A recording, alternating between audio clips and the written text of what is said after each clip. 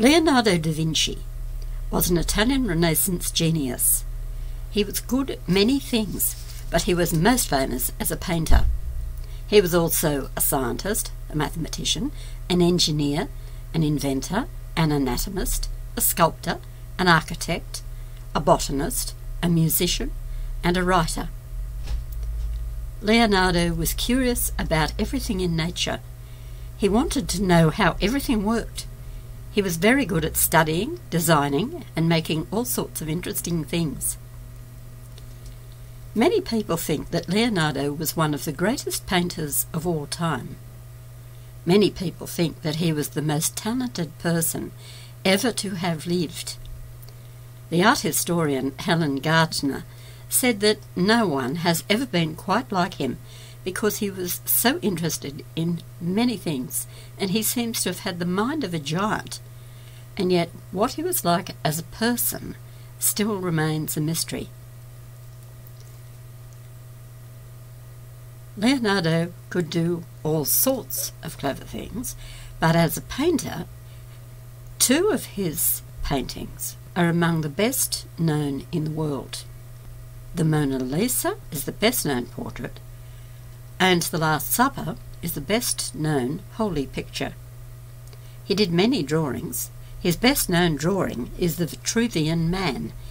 It is so well known that even Homer Simpson and Garfield have been drawn in a square and a circle to look like Leonardo's drawing. Leonardo was born on the 15th of April 1452 in the Tuscan hill town of Vinci in Italy in the valley of the Arno River. His grandfather, Ser Antonio, wrote down the details of his birth. Leonardo's parents were not married. His father was a lawyer, Messer Piero Fruosino di Antonio da Vinci, and his mother, Caterina, was a servant. Leonardo's full name was Leonardo di Piero da Vinci, which means Leonardo, the son of Mr. Piero from Vinci. Leonardo spent his first five years living in a farmhouse with his mother. Then he lived at Vinci with his father, his father's wife, Albiera, his grandparents, and Uncle Francesco. When Leonardo grew up, he only wrote down two things about his childhood. He remembered that when he was lying outside in his cradle, a large bird flew from the sky and hovered over him. Its tail feathers brushed his face. Leonardo's other important memory was how he found a cave while exploring in the mountains. He was terrified that some huge monster might be hiding there, but he was also very excited and curious to find out what was inside. Leonardo started painting while he was still a boy. The writer Giorgio Vasari wrote about Leonardo's life shortly after his death. He tells us many interesting stories about how clever Leonardo was. He says that Leonardo painted a round wooden shield with a picture of snakes spitting fire. Messer Piero took his son's painting to Florence and sold it to an art dealer.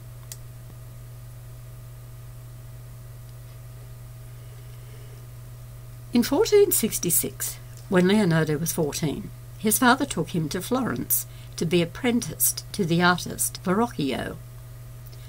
Florence was a very exciting place for a young person who wanted to be an artist. Many famous artists had lived in Florence, starting with Cimabue and Giotto in the 1200s. Everywhere a person looked, there were famous and beautiful artworks. The huge cathedral had an enormous new dome, the Church of St. John had doors that gleamed with gold and were said to be the most beautiful doors in the world. Another church had statues all around it by the most famous sculptors, including one by Leonardo's own teacher, Verrocchio. If an artist was lucky, they would find a rich patron who would buy lots of their paintings. The richest family in Florence were the Medici. They had built themselves the finest palace in Florence, and liked buying paintings, statues, and other beautiful things. They were also interested in the study of literature and philosophy. Many young artists hoped to get work from the Medici and their friends. Verrocchio had a big workshop that was one of the busiest in Florence. Leonardo was learning to be an artist, so he had to learn drawing and painting, sculptor, and model making. While he was at the workshop, he was able to learn all sorts of other useful skills chemistry, metallurgy, metalworking, plaster casting, leather working, and mechanics, and carpentry. Leonardo was not the only painter at Verrocchio's workshop. Many other painters were trained there or often visited. Some of them later became famous, Ghirlandaio, Perugino, and Botticelli. These artists were all just a few years older than Leonardo. Vasari tells us an interesting story from this time of Leonardo's life. Verrocchio was painting a large picture of the baptism of Christ. He gave Leonardo the job of painting one of the angels holding Jesus' robe on the left side of the picture. Vasari says that Leonardo painted the angel so beautifully that Verrocchio put down his brush and never painted again. When this painting is examined closely, it is possible to see that many parts of the picture, such as the rocks, the brown stream, and the background, may have been painted by Leonardo as well as the angel. Verrocchio made a bronze statue of David at this time it is believed that he used Leonardo as his model. In about 1472, when he was 20, Leonardo joined the Guild of St. Luke, an organisation of artists and doctors of medicine. Even after his father set him up in his own workshop, Leonardo still enjoyed working at Verrocchio's workshop. Leonardo's earliest known work is a drawing in pen and ink of the Arno River Valley. It has the date 5th of August 1473 and is now in the Uffizi Gallery.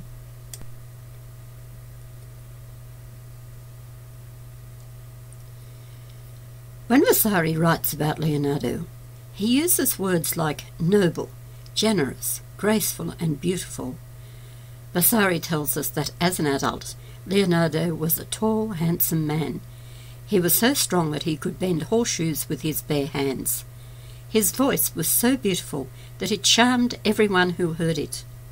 Almost everyone wanted to be his friend. He loved animals, he was a vegetarian, and he would buy birds at the market and set them free. Very little is known about Leonardo's life or his work between 1472 and 1481 he was probably busy in Florence. In 1478, he had an important commission to paint an altarpiece for the monks of San Donato a Scopeto. The painting was to be an adoration of the Magi, the three wise men's visit to the infant Christ child. The painting was never finished because Leonardo was sent away to Milan. Leonardo was a very talented musician in 1482, he made a silver lyre, a musical instrument, in the shape of a horse's head. At that time, there was a new ruler in the city of Milan in the north of Italy. The Duke Lodovico il Moro was making all the other rulers very nervous. Lorenzo Medici sent Leonardo to Milan as his ambassador. Lorenzo de' Medici wanted Leonardo to give Lodovico the lyre as a present from him. Leonardo wrote a letter to the Duke of Milan telling him all about the clever and useful things that he could do, like making war machines. He wrote in the letter that he could also paint. Leonardo did not know at the time that it was for painting that he would mostly be remembered. Leonardo stayed in Milan and worked for the Duke between 1482 and 1499. Part of his work was to design festivals and carnival processions. In Leonardo's notebooks are drawings of theatre costumes, amazing helmets, and scenes that might be for the theatre.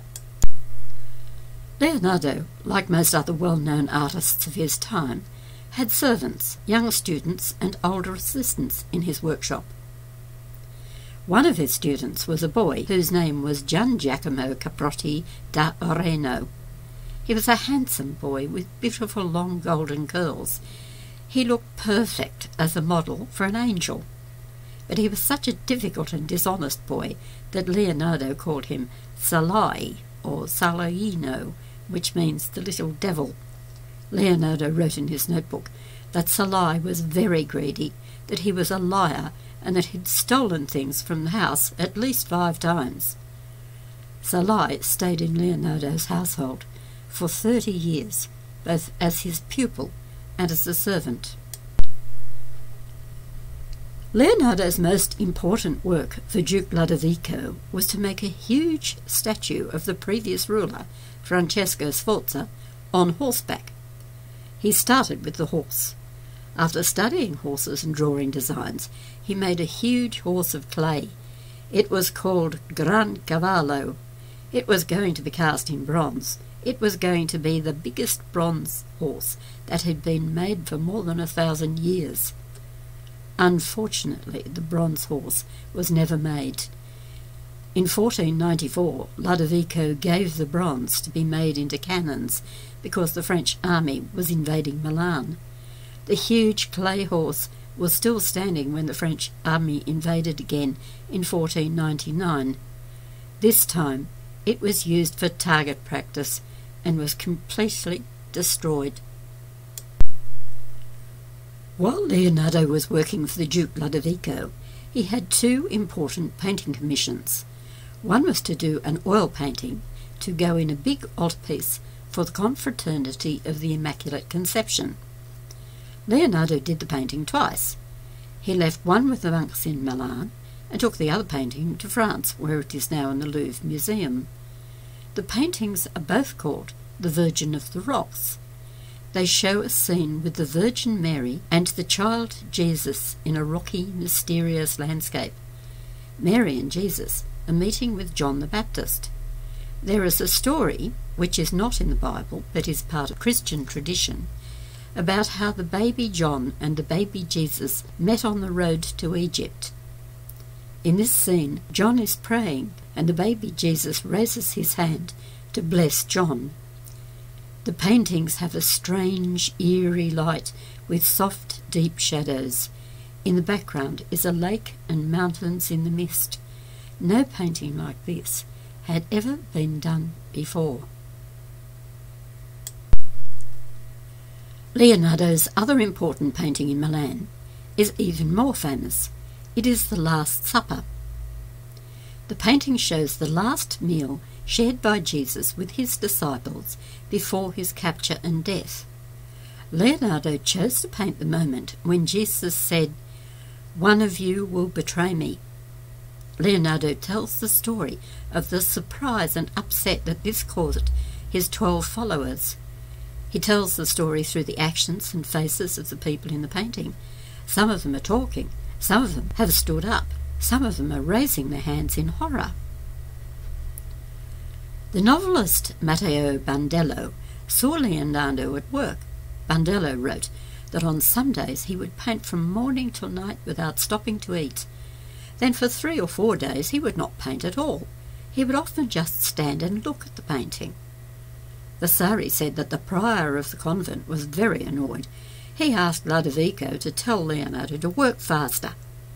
Vasari said that Leonardo was worried because he did not think that he could paint the face of Jesus well enough. Leonardo told the Duke that he might use the face of the prior as his model for Judas the traitor. When it was finished, everyone that saw it said the painting was a masterpiece. But Leonardo had not used proper fresco for the painting he had used tempera over gesso, which is not usually used for a wall painting. Soon the painting started to grow mould and flake off the wall. In a hundred years it was completely ruined. Even though in some places the paint has fallen right off the wall, the painting is so popular that it is printed and copied more than any other religious painting in the world. In 1499, Ludovico il Moro was overthrown. Leonardo left Milan with his servant Salai and his friend Luca Pacioli, who was a mathematician. They went to Venice. Leonardo worked as a military engineer and architect. Because Venice is a city on many islands, Leonardo tried to think of ways to defend the city from naval attack. In 1500, Leonardo went back to Florence, taking his household of servants and apprentices with him. The monks from the monastery of the Holy Annunciation gave Leonardo a home and a large workshop. In 2005, some buildings which were used by the Department of Military Geography were being restored. The restorers discovered that part of that building was Leonardo's studio. Leonardo started work on a new painting. He drew a large cartoon. This means a drawing that is a plan for a painting. The cartoon showed the Virgin Mary sitting on the knee of her mother, St. Anne. Mary holds the baby Jesus in her arms. Jesus stretches out his hands to his young cousin, John the Baptist. Vasari said that everyone was so amazed by the beautiful drawing that men and women, young and old, came in large groups to see it, as if they were attending a great festival. The drawing is now in the National Gallery in London. Even though it is old and faded and is kept in a dark room, people go to the gallery to sit in front of it every day. Like many of Leonardo's other projects, the painting was never done.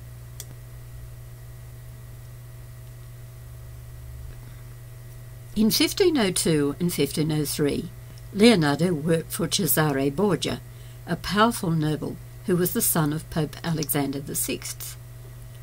Leonardo travelled around Italy with Borgia as a military architect and engineer. Late in 1503, Leonardo returned to Florence. He rejoined the Guild of St. Luke. He was given a very important commission. The town council, called the Signoria of Florence, wanted two large frescoes painted on the walls of the most important room of the Signoria Palace. Michelangelo was to paint the Battle of Cascina, and Leonardo was to paint the Battle of Anghiari. Leonardo began the project by studying and drawing the faces of angry men and fighting horses. These drawings can still be seen in his notebooks. But unfortunately, this was to be another failure for Leonardo. When he painted the picture on the wall, instead of using fresco, he mixed the paints with oil. The paint would not dry. Leonardo lit some fires to dry it, and the painting melted. Many years later, another artist, Peter Paul Rubens, drew a copy of the middle part. After a time, the Town Council just covered it up and got somebody else to paint the wall. Michelangelo did not finish his painting either because the Pope called him to Rome. In about 1503, Leonardo began painting the portrait of a woman known as Mona Lisa, the most famous portrait that has ever been painted. He continued working on it for many years. It is a small picture painted in oil on a wooden panel. It shows the face and upper body and hands of a woman. She's very plainly dressed, for a portrait, a woman would usually put on her best clothes and jewellery. Mona Lisa has a dark dress and a fine black veil over her head. Leonardo often left symbols in his paintings that give clues about the person. The unusual thing about this painting is the smile. The smile is the clue to her name, Mona Lisa Gioconda. Gioconda means the joking one and Mona is short for Madonna, which means My Lady. The reason why the painting is so famous is that it seems to be full of mystery. Mona Lisa's eyes look out at the viewer, but no one can guess what she is thinking. Her eyes and her mouth seem to be smiling. This is very unusual in a portrait painting. Most people in portraits look very serious. It is hard to tell what Mona Lisa's exact expression is. When a person wants to read another person's feelings, they look at the corners of their mouth and their eyes. But Leonardo has painted soft shadows into the corners of Mona Lisa's mouth and eyes to disguise her expression. The soft shadows are also found on the sides of her face, her neck, and her hands. The way that Leonardo uses the shadow is called sfumato, which is the Italian word for smoke. Vasari said that the picture was so beautifully painted that every other artist who looked at it thought that they could never paint so well. In 1506, Leonardo went back to Milan with his pupils and lived in his own house in the Porta Orientale. Some of the pupils became painters Bernardino Luini, Giovanni Antonio Boltraffio, Marco d'Oggiono, and others painted many Madonnas which can still be seen in art galleries and churches. One of the pupils was a young nobleman called Count Francesco Melzi. Melzi never became a very good painter, but he loved Leonardo and stayed with him until the day he died. In September 1513, Leonardo went to Rome and lived there until 1516. He lived in the Vatican. The three greatest painters of the High Renaissance, Leonardo, Michelangelo, and Raphael, were all working in Rome at the same time. Even though their names are often said together as if they were friends, they were not. Leonardo at this time was in his sixties. Michelangelo was middle aged. He was not friendly to either Leonardo or Raphael. Raphael was a very clever young painter who learned a lot, lot by looking at pictures painted by Leonardo and Michelangelo, but neither of them was ever his teacher. In October 1515, King Francis I of France captured Milan. On December the 19th, 1515, there was a meeting of Francis I and Pope Leo X in Bologna. Leonardo went to the meeting with Pope Leo. Leonardo made an amazing toy to entertain the King of France. It was a life sized mechanical lion that could walk. It had doors in its chest which opened, and a bunch of lilies came out. Lilies were the royal symbol of the French king. In 1516, Francis I invited Leonardo to go to France with him. He gave Leonardo a beautiful house called Clos Luce, sometimes called Clou. It is near the king's palace, Chateau Amboise.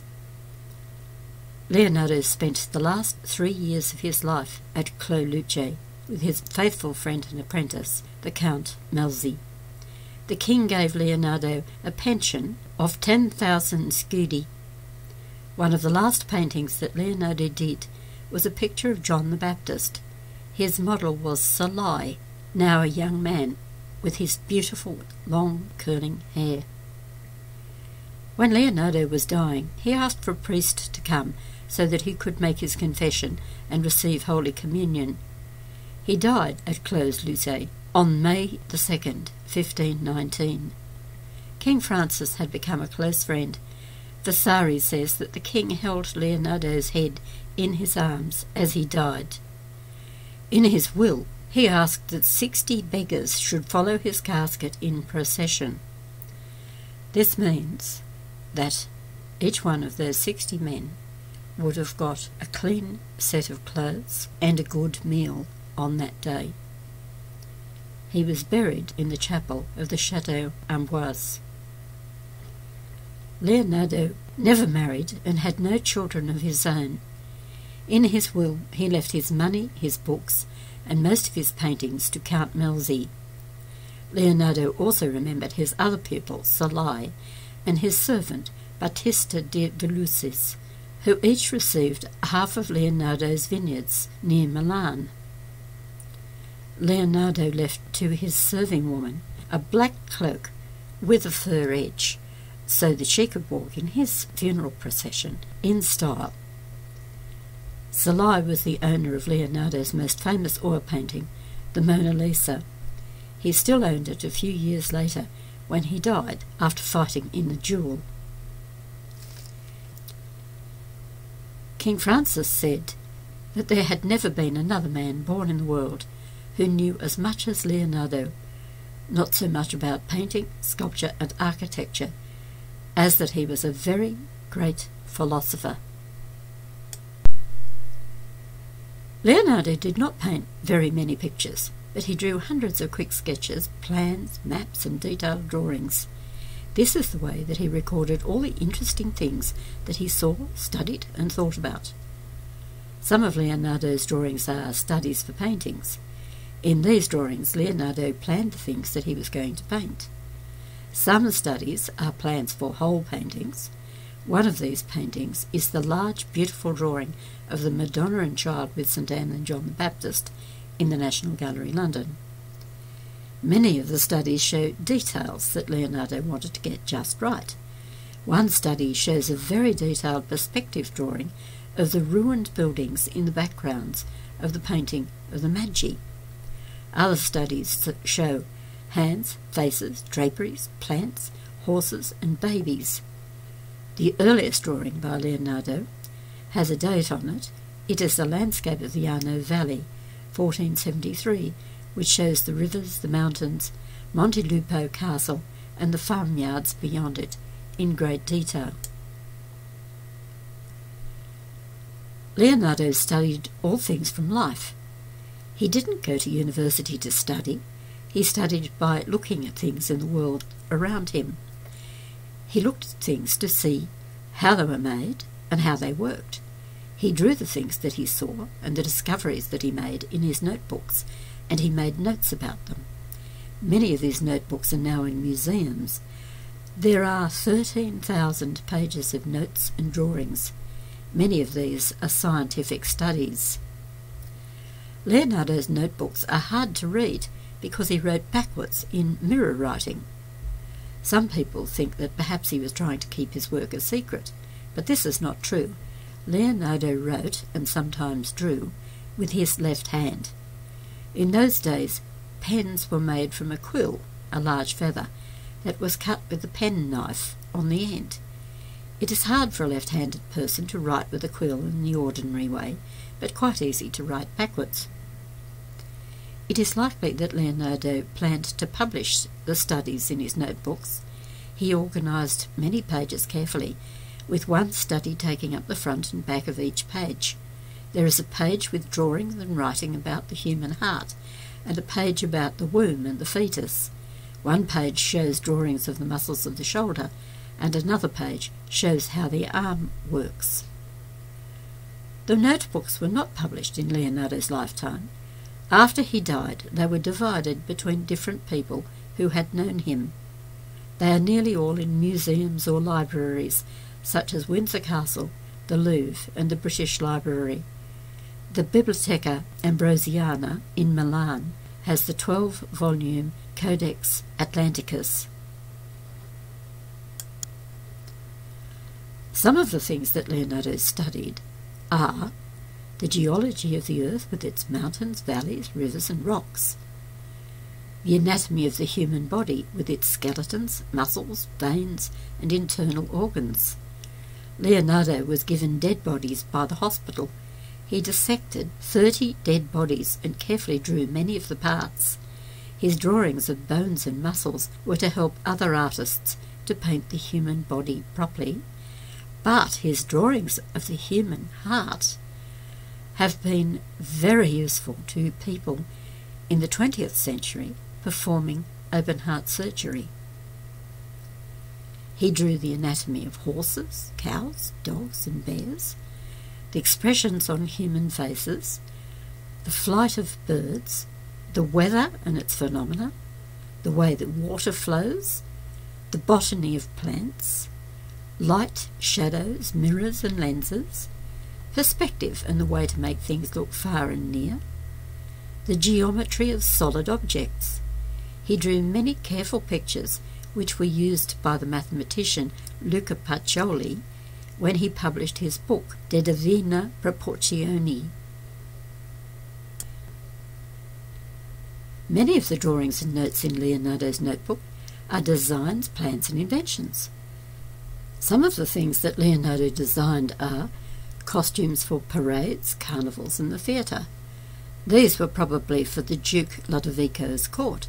They include armour and ferocious dragons. He designed plans for dams and canals for rivers.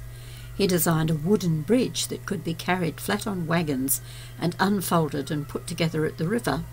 War machines, such as an armour plated tank, an enormous crossbow, and a horrible horse driven leg chopper. None of these things were ever made in Leonardo's lifetime. He designed flying things with wings that flapped, a helicopter and a parachute and a hang glider. One of Leonardo's servants was injured trying out the hang glider. The parachute has been made and tested in modern times, and it does work. He designed churches and castles. It is possible that the castle of Locarno in the south of Switzerland was designed by Leonardo da Vinci. No other building that he designed was ever built. Even though Leonardo lived and died 500 years ago, people still find him fascinating because of his genius and because of the diversity of the things that he was able to do and because of the mysteries that continue to surround him. What sort of a person was he, really?